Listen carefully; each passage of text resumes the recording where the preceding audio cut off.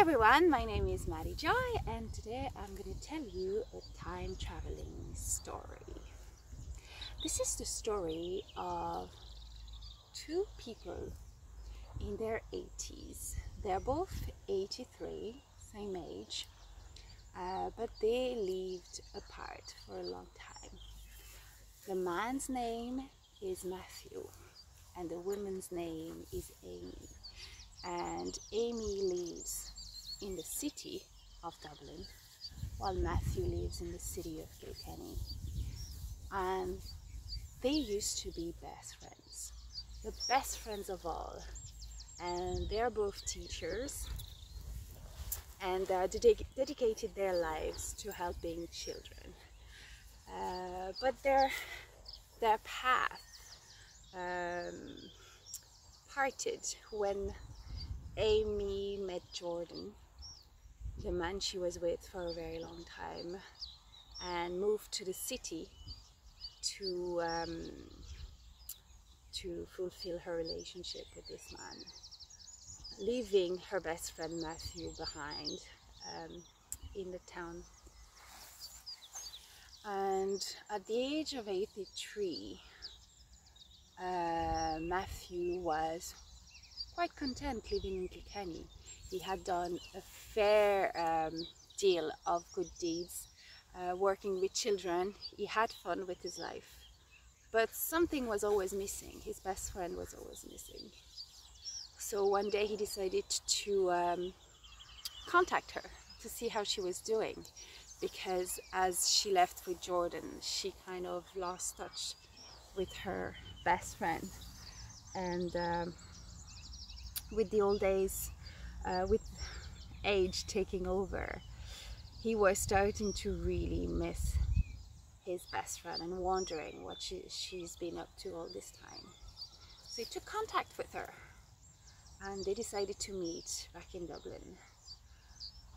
And that's when he, um, she told him, he realized actually that um, life hadn't been easy for her. Um, as a matter of fact, it's been um, quite um, tough for her. Uh, she was now an old lady. And um, she was living on her own in an apartment building. And her days were quite the same always the same. So she'd wake up in the morning um, have breakfast go for a walk come back home watch the news um, have lunch go for another walk. And then she'd she'd come back home, knit, do a bit of arts and crafts, and uh, watch a bit more TV and go to bed. She didn't have any children and she was um, single.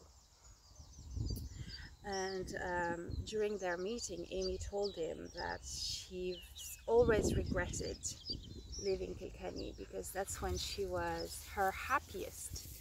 She'd always um, loved working with the children there, the community feeling, the, um, the lovely people around.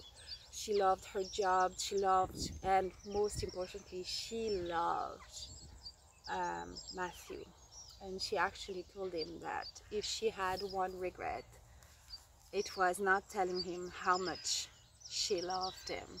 And not only just as a friend, but she was genuinely, truly in love with him at the time when she was 28 but she always thought he didn't love her back. And when Jordan came into her life he showed her um, his affection. And she came to terms with uh, Matthew not loving her or so she thought. Um, and uh, and agreed to um, and started falling in love with Jordan instead and eventually she moved to Dublin um, because his career was in Dublin. She could teach anywhere but he couldn't do his work from Kilkenny so she had to move to Dublin.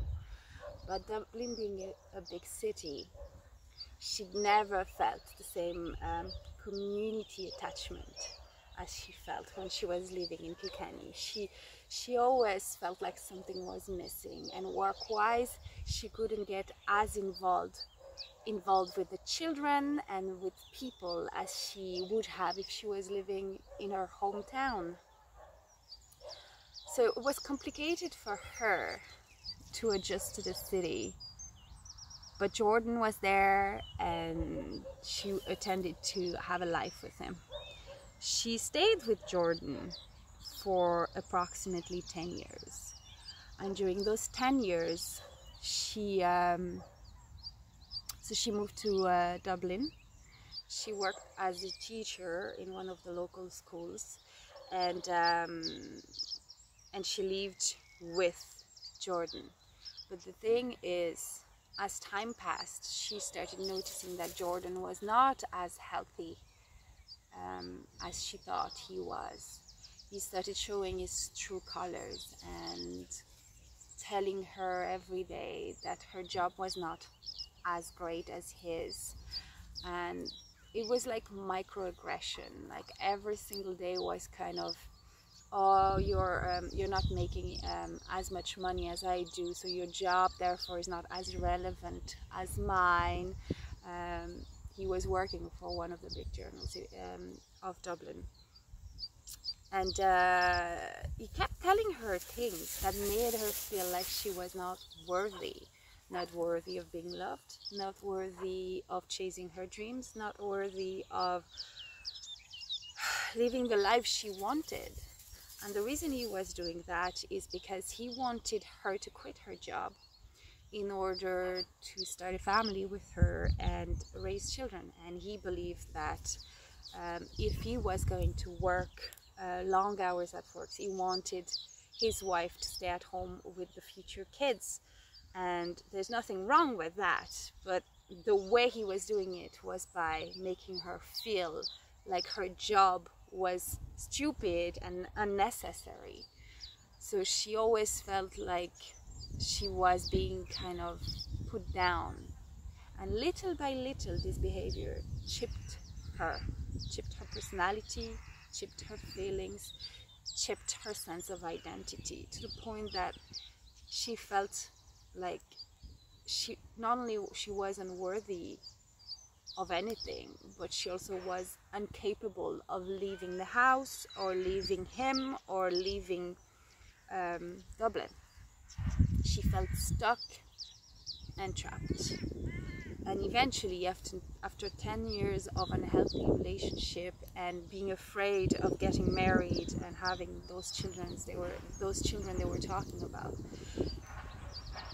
she took her courage, all the courage she had in her heart, and she left Jordan.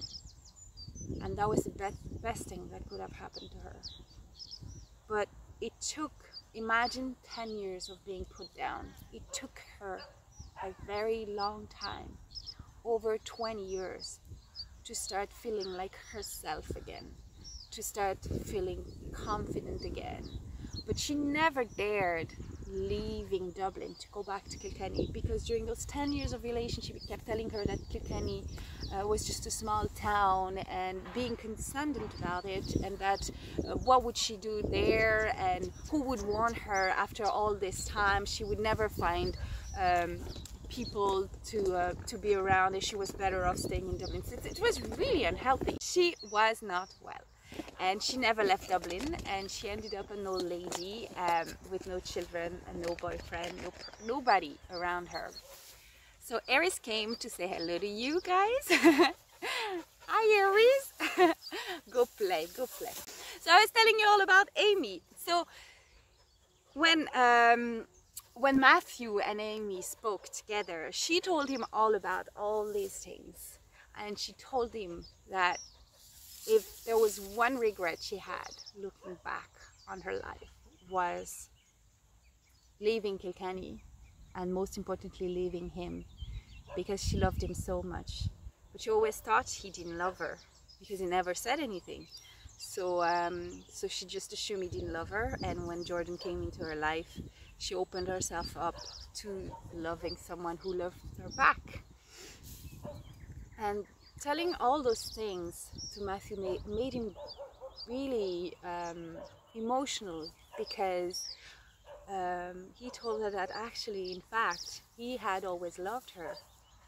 But he was the one thinking she didn't love him back, so he never dared asking for anything. And when Jordan came into the picture, it made it clear to him that she had no feelings for him.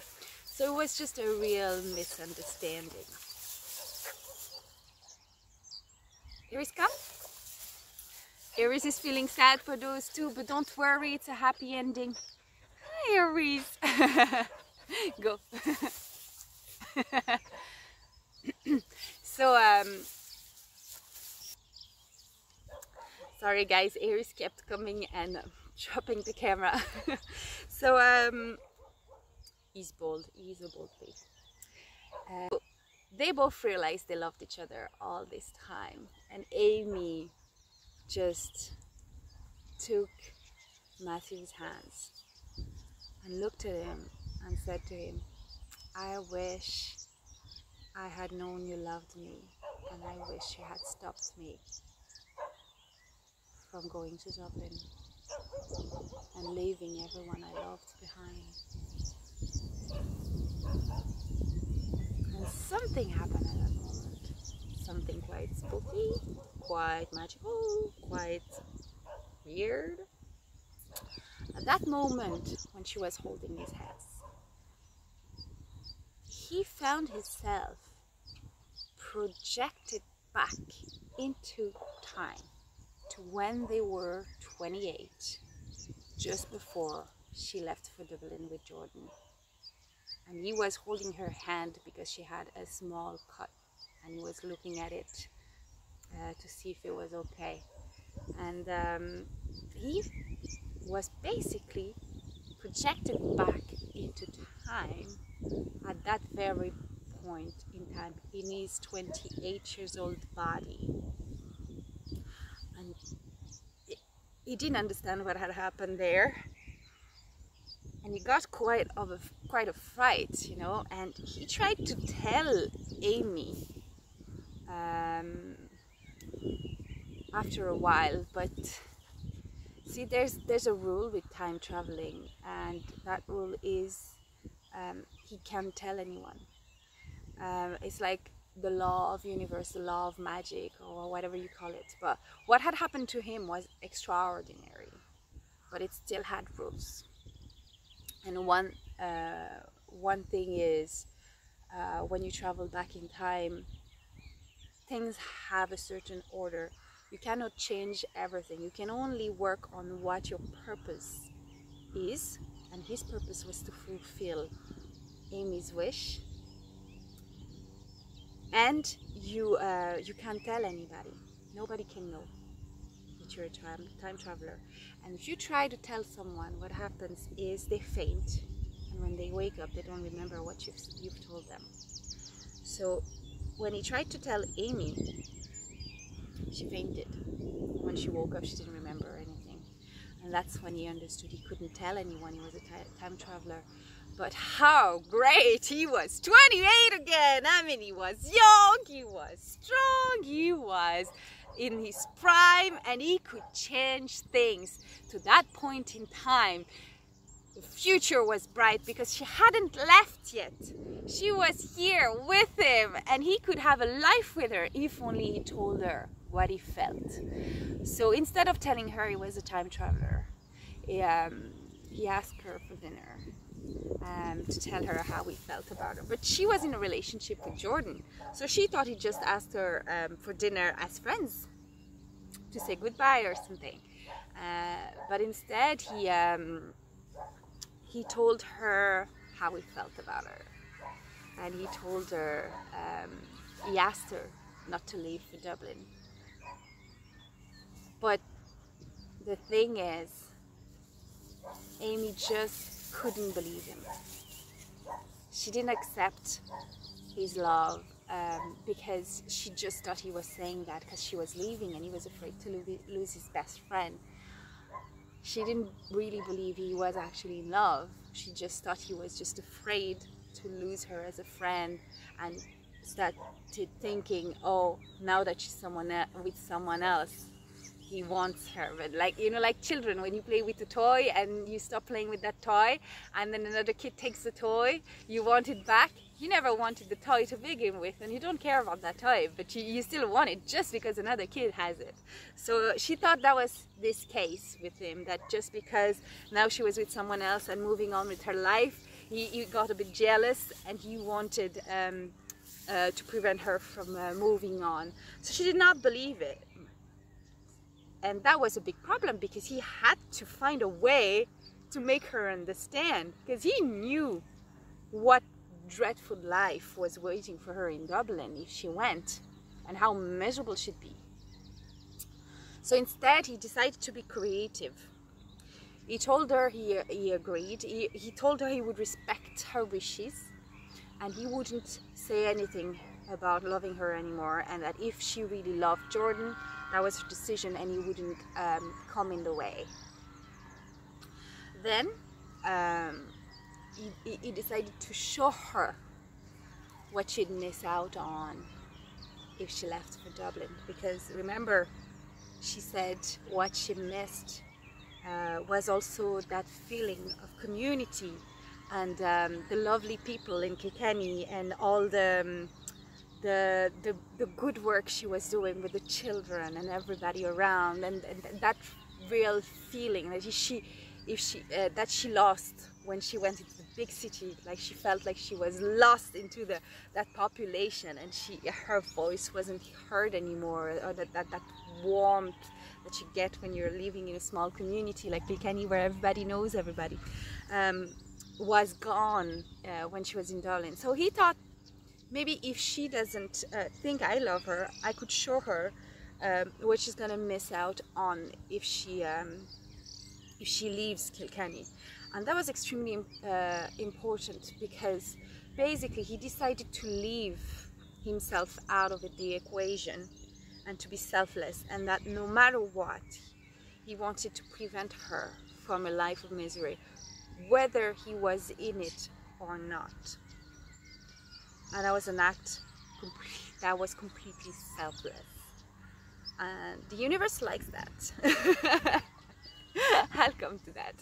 So instead of chasing her as a lover, he he um, he decided to make it impossible for her to want to leave town. And how did he do that?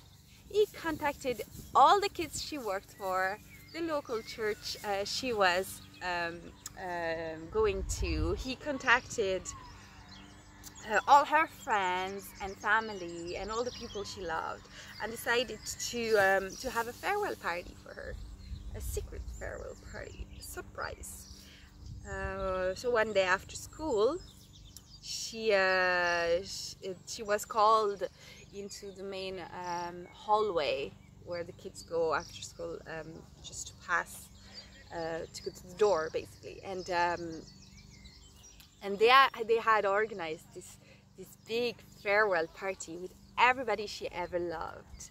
And all the kids with the help of, of Matthew um, who was also working in, in school he was also a teacher um, they all had like made little gifts drawn made cake. Um, they really had like gone out of their way um, to show her how much they loved her. And obviously they were they were in the confidence the confidence that we want you to stay. So they all told her how much um, they would miss uh, they would miss her and um, that they wanted her to stay. Uh, but without saying it out loud they just showed it to her. They showed her um, so he invited the kids that were older that were no longer her students. And they made speeches telling her how she changed their lives just by being the best teacher she could be and how she gave them strength to become the um, the beautiful young adults they were. Um, teenagers or young adults um, they did become. And and how precious the work she did was to them to their family and how it impacted on their lives and she was absolutely completely emotional she couldn't believe that just her, this tiny little person in this tiny little body could have such an impact on the community. I mean, it is one thing to work hard and to help people and to do your best, but you never get recognition. You don't do it for recognition. You just do it because you love doing it. You love interacting with people. You love helping people. You love working with people, but you don't really do it so that people will tell you anything about it. And at that point in time, she had no idea what impact she had on people. She was just doing it because she loved it. But when they told her that, she realized what she was gonna miss out on. And she started questioning going to Dublin. So she went home uh, to talk to, to Jordan about it. Um, obviously, Jordan was at the party, um, but she waited until she was home to talk to him about it. And she started telling him, Listen, I don't think it's a good idea for me to leave for Dublin. I, I, I, lo I love you very much, but um, I can't do it. I just can't. And from there on, they had a big fight. And Jordan started showing, started showing his true colors and telling her, but your job is insignificant. You're just a teacher. Do you realize how much more money I will make? And then something hit her he was in life for the money where whereas she was in life for the joy and the love and the people and that is something she could never live with someone who's interested in money more than in people in love in friendship in good values and at that moment she told him, I can't be with you anymore. I, I'm sorry. I just can't. You're not who I thought you were.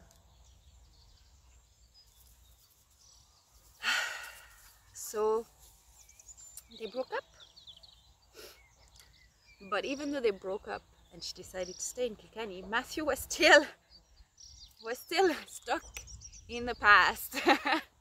in his 20 year old body uh, he 28 years old body and he he didn't mind. I mean it's great. You, you you come from being very old to being very young and and have no backache and no no pain anywhere. It's great you know. He was like oh if i could stay here. But he had to go back at some stage you know. Uh, but the only way he could go back is if he had fulfilled her wish, and her wish was um, for him to show, show her how much he loved her and make her stay and uh, have a life together. So that part, the part of staying, was fulfilled, but not the part of him showing her how much he loved her uh, and being together. But when, um, so the next day after she broke up with, with Jordan, the um, they met up and uh, she thanked him for um, for showing her um, what was truly important in her life. And what a big mistake it would have been had she gone in Dublin. And um, then he looked at her and he, he just had an impulse. And he kissed her a gentle kiss on the forehead, not on the lips, on the forehead. Like a best friend with all the best intentions in the world. Just, I love you so much I couldn't see you living a life you'd regret. She looked at him and she felt so moved and so touched that someone could be so caring that someone would have gone through the hassle of making her see the errors of her ways and prevent her from doing the biggest mistake in her life and he she looked at him at that moment and she kissed him. Now a real kiss. And at that moment, Matthew was propulsed. I don't know if you say that word in English. He was he jumped back in his in his old man's body and he was kissing Amy and they were in this big lovely house in Kilkenny as old people with all those photos of children and grandchildren and they had had a beautiful wonderful life together. And now they were an old couple and their lives was full of people of love of joy and of what really matters. And that is a sense of community and love and helping others they had both lived their lives to the fullest following their heart and their values. And they were rewarded by having a life full of people who loved them, full of children, both students and their own, grandchildren, animals, and a huge community to back them up anytime they needed.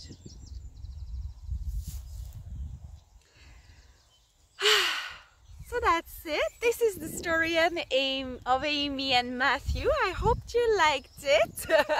that made me cry. They're so cute as an old couple. Who knows, maybe if you come to Kilkenny uh, someday you could meet them.